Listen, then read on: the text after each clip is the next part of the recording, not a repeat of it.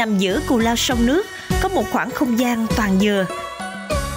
Độc đáo hơn cả, ở đây còn có ngôi nhà năm bộ xưa cũng được chủ nhân xây dựng bằng chính loại cây đa năng này. Từ cái chén, đôi đũa, bàn thờ, đôi liễn đều được làm bằng dừa. Có thể nói đây là một ngôi nhà có 102 tại miền Tây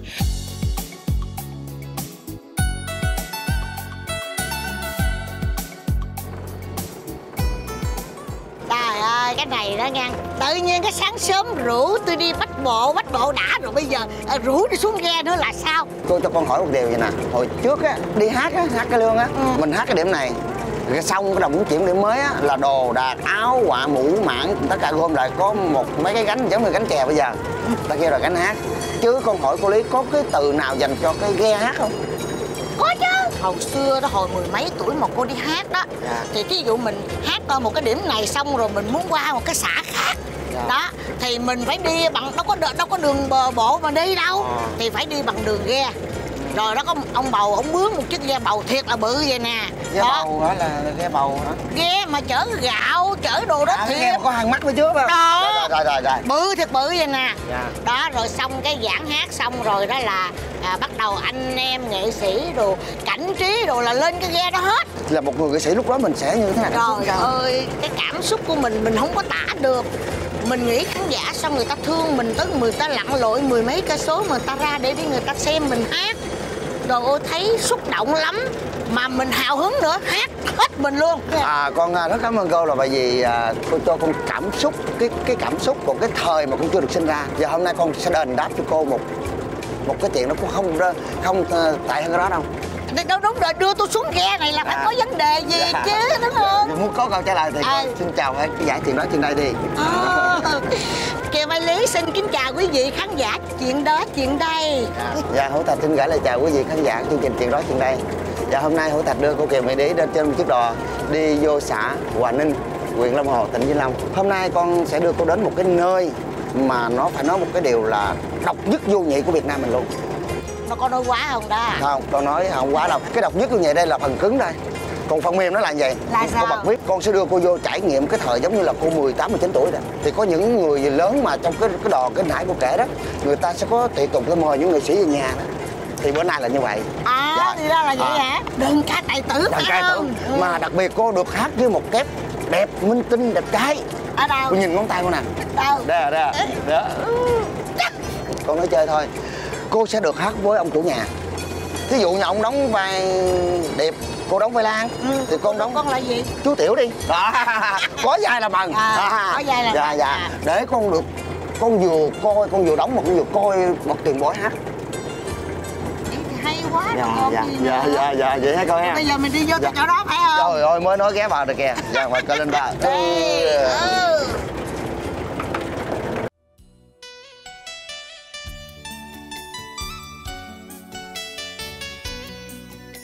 Được bao bọc bởi không gian xanh mát với hàng dừa và vườn cây ăn trái ở xứ Cù Lao. Ngôi nhà dừa được xây dựng trên diện tích rộng 4.000 m2, căn nhà tọa lạc Cù Lao An Bình, thuộc xã Hòa Ninh, huyện Long Hồ, Vĩnh Long. Ông Thưởng chủ nhân ngôi nhà kể tuổi thơ của ông gắn liền với cây dừa.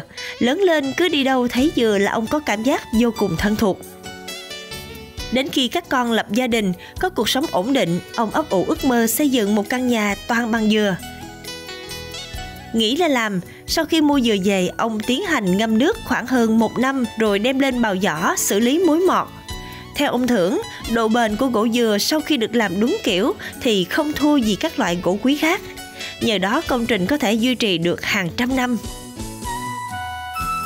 Để chống mối mọt và làm chắc cây, cây dừa phải được ngâm đủ thời gian rồi bao gọt cho láng, sạch sẽ, sau đó đem ngâm xử lý thêm khoảng 3 tháng để chất thuốc ngấm vô cây.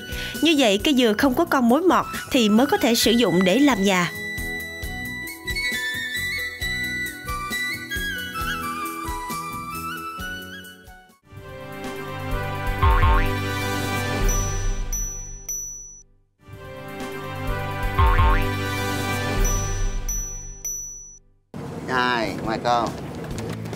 Ơn người anh em rất nhiều nha Cảm dạ, ơn Dạ, nha. dạ, dạ, dạ.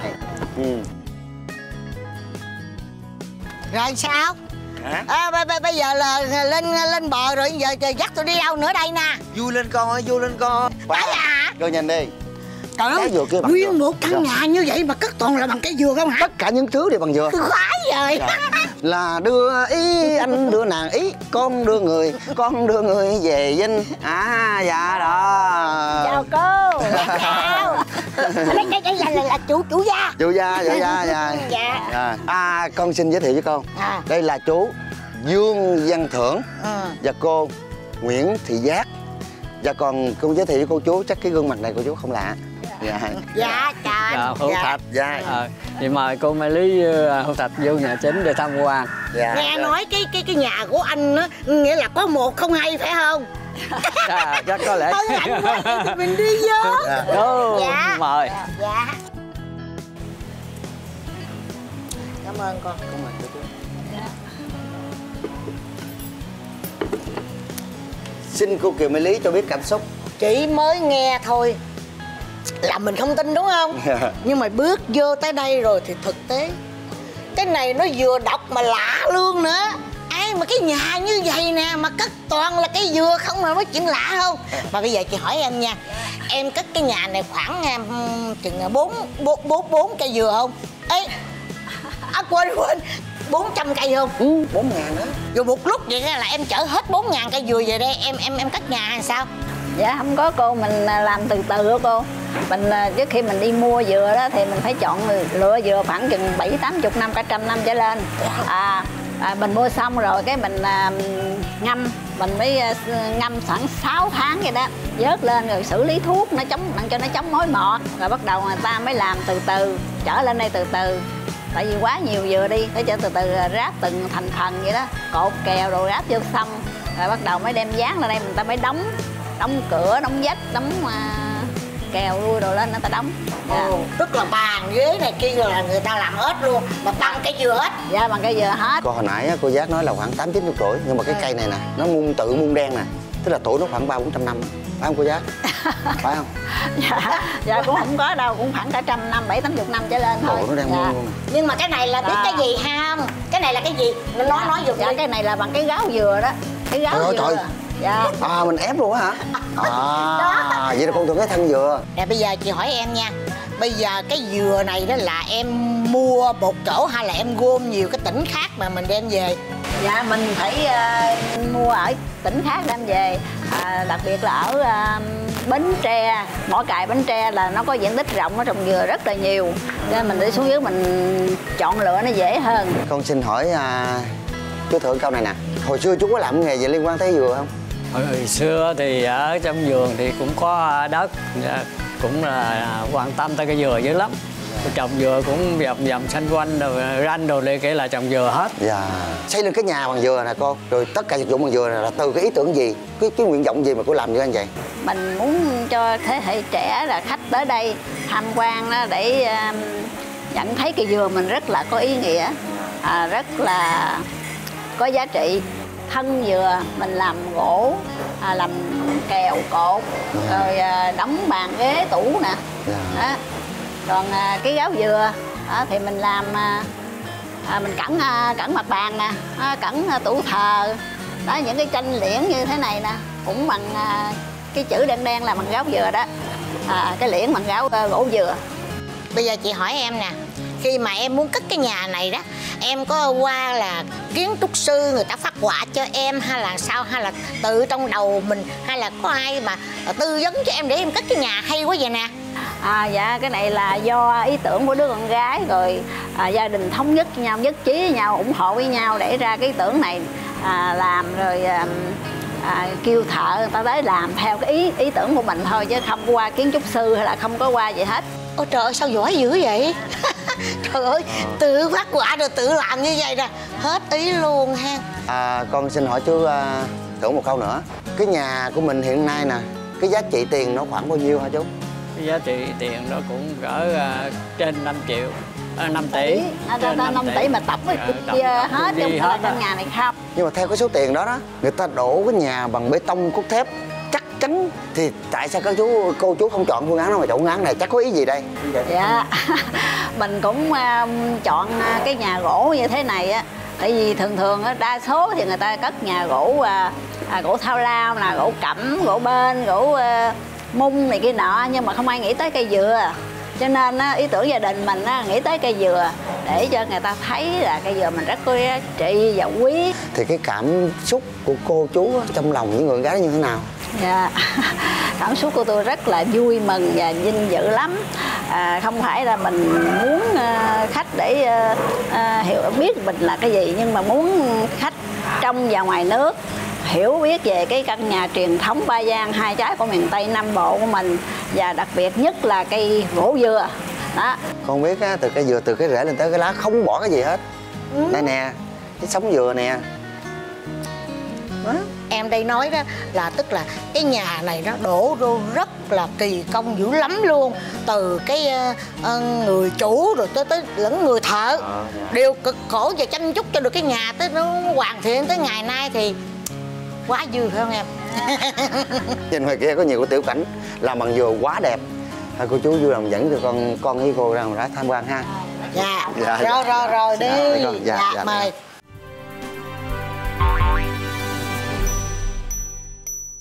tôi muốn đặt ông Di Lạc Dạ. à, ông Phước Lộc Thọ. Ồ, à, hay là à, gì đó thì mình à, đặt cho người ta làm. Rồi là mình Cái này dừa là- tới đó. Rồi từ nghệ nhân làm xong mình mới chở về đây? Ờ, ôi quá sức Wow. ý tưởng của mình là mình muốn à, làm chưa? cái gì á thì mình làm. Rồi Dạ, cái dạ, dạ. nghệ nhân làm theo ý mình. Trời ơi thạch ơi. Dạ. Coi nè công cán biết là bao nhiêu không? Wow. Rồi cái để dừa. Trời ơi một cái rễ dừa mà ừ, tạc thành một cái tượng như vậy. Quá công cán luôn chưa? Cô cô lý cô lý. Hả? Nhìn cái tiểu cảnh kia kìa. Ô đẹp quá. Mình đi đi. Đi đi đi đi đi. Trời ơi sao đâu cũng đẹp hết trơn rồi cô thích nhất cái cái cái chi tiết nào trong cái khu vườn công viên này? Cô đó hả? Dạ. Thích hồ cá. Trời chị đây cô thích kia hả? À, đúng con hiểu mà cỡ cái à, tuổi như cô chú đây nè ngồi chỗ đó một lát đó, nó, nó nhẹ lòng nó mát lòng mát dạ. Còn riêng con á con lại thích cái tiểu cảnh này nè. À, dạ chú thưởng giải thích giùm con làm nó từ một gốc dừa gấp lại hay là chỉ một gốc thôi? Cái này có từ một gốc còn ở trên đó thì cái cái bột dừa người ta làm cái à, cái món ăn dừa đó đó để người ta làm cái à, nón còn cái trên mà quấn lại là cái cái sơ dừa hay quá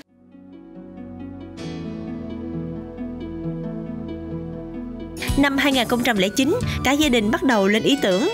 Sau đó tiến hành quy hoạch khu đất rộng 4.000 m2, trồng dừa theo hàng, theo lối để tạo cảnh quan đẹp mắt.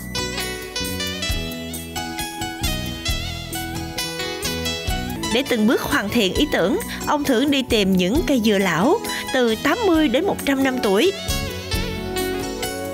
Năm 2017, ông Thưởng mời hơn 30 nghệ nhân và thợ lành nghề về xây dựng ngôi nhà và phải mất gần 2 năm mới hoàn thiện.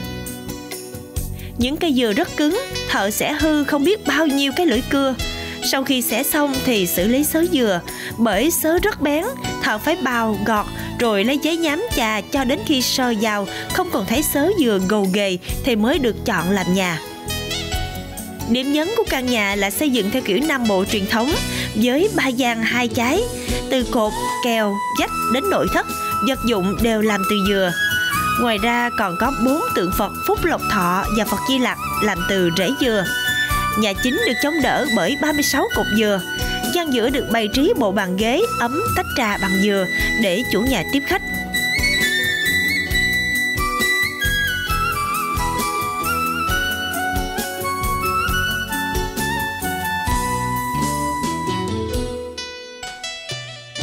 Theo là gian thờ, tủ thờ được khảm gáo dừa, trang trí thay vì khảm ốc xà cừ như những loại bàn thờ khác. Lư hương, tượng Phật, liễn thờ cũng được thay thế bằng dừa. Các vách nhà, cột kèo, chùm đèn, bình cửa đều làm từ loại cây đa dụng này. Tạo nên cái nhìn vô cùng mộc mạc nhưng cũng không kém phần độc đáo. Quần thể nhà dừa vừa có không gian sống vô cùng độc đáo, gần gũi với thiên nhiên,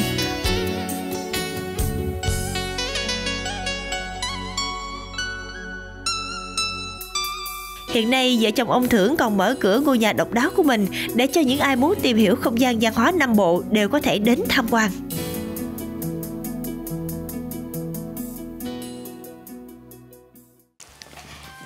Nè bây giờ cái gian hàng này của em bài biện như vậy là nó có những cái gì đó em giới thiệu cho chị nghe coi cái gian hàng này á, là mình à, trưng bày à, những sản phẩm bằng dừa để cho khách đến đây tham quan cái căn nhà dừa ba gian hai trái của miền tây nam bộ mình. Ừ. nên mình trưng bày những cái sản phẩm này để cho khách biết là cây dừa nó sử dụng toàn bộ hết gỗ và thân thân à, gỗ dừa và gáo dừa. Sơ dừa được sử dụng toàn bộ những cái món Tức là không- mỹ không bỏ món gì Dạ, hết. bỏ gì hết. gửi đến cô Lý là chào trân trọng nhất. Ê, ê, ê, ở đâu mà có cái nón đẹp vậy ta?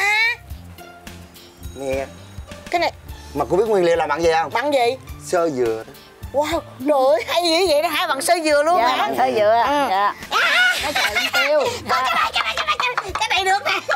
Nè nè một lát một lát chị chị chị, chị lấy cái này được không? Dạ. Nha. Dạ tặng Rồi. cô tặng cô. Dạ. thôi đừng có tặng. Ờ, mua nhưng mà mỏng nhuyễn thôi. Thôi thôi.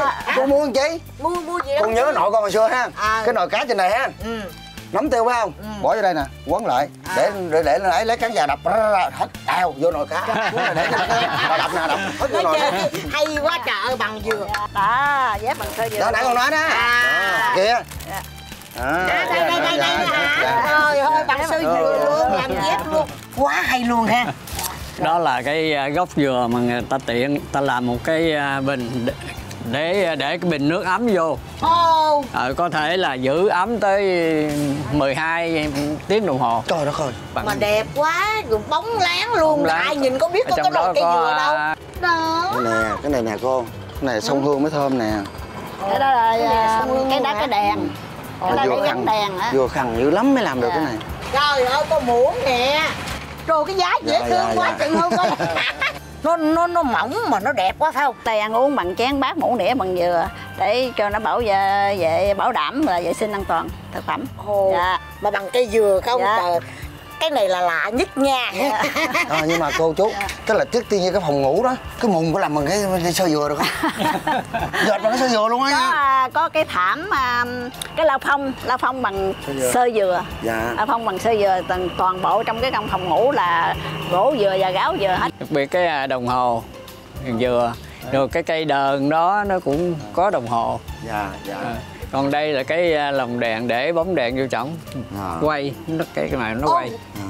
quay luôn quay luôn wow hay quá vậy nói thiệt với em nha tôi thích nấu nướng lắm mà tôi gặp mấy cái món này là kể như không có đi được rồi Thôi cái này nó à, Cái này thì Cái gì nè? Cái đó là cái à, massage massage Massage à, Massage dạ Massage túi đi mũi hả? Đây, đây, đây. Con con chưa cần xài cô cần rồi đó. Không. Này nhăn nè. Ừ Đó. Đây À. cái này là mới dữ Đó. hơn đây Dạ. đây đây làm Cái, mình làm gì? à, massage mình Dạ. mình đấm lưng cho nó đỡ đau lưng á. Ô mình tự đấm sướng cái quá trời. Dạ, dạ. hay quá hay quá hay còn quá. còn cái là quay đầu lại đừng gãy lưng được. Dạ dạ. À, Đó, đó, đó. đó là đó ngứa lưng thì quay Dạ, lại. dạ. à đúng rồi đúng Còn rồi. hồi xưa đó nội con không có vụ này đây nè đây nè cởi áo rồi trà, trà lên trà xuống. Nội con không à chịu nội con đó nha. hay lắm quá sức. Cái nào cũng hay. Trời ơi cái này nữa nè. Nè nè ăn cơm một cái nghe. ồ con nè cái nè ôi. Thấy chưa? Chết quá. thấy chưa thấy chưa? Không ngờ từ một cái thân dừa mà có thể làm ra khoảng năm ba trăm cái cái cái cái cái cái hình thức bằng cây dừa. Cây dừa không bỏ cái gì hết ha. Không bỏ. Không bỏ một cái gì không hết. bỏ một cái gì. Cái này cục thiệt á. Ừ. quá hay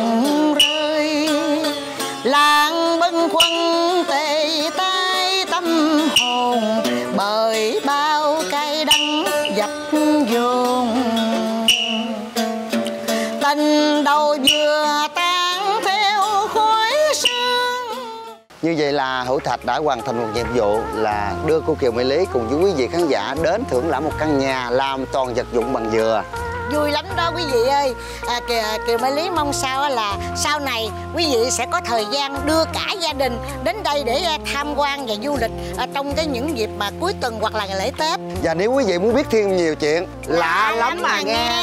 thì hãy đón xem chương trình chuyện đó chuyện đây phát vào lúc 19 giờ vào tối thứ bảy hàng tuần trên HTV7.